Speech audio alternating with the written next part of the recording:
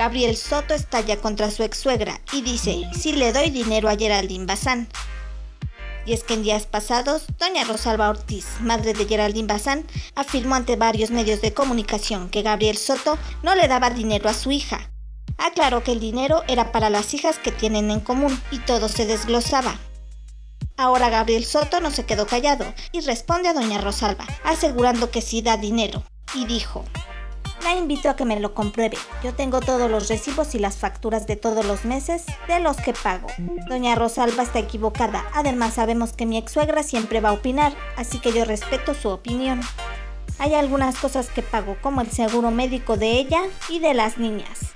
Así Gabriel Soto asegura que sí le paga algunas cosas a Geraldine Bazán y no como dice doña Rosalba que no le paga nada.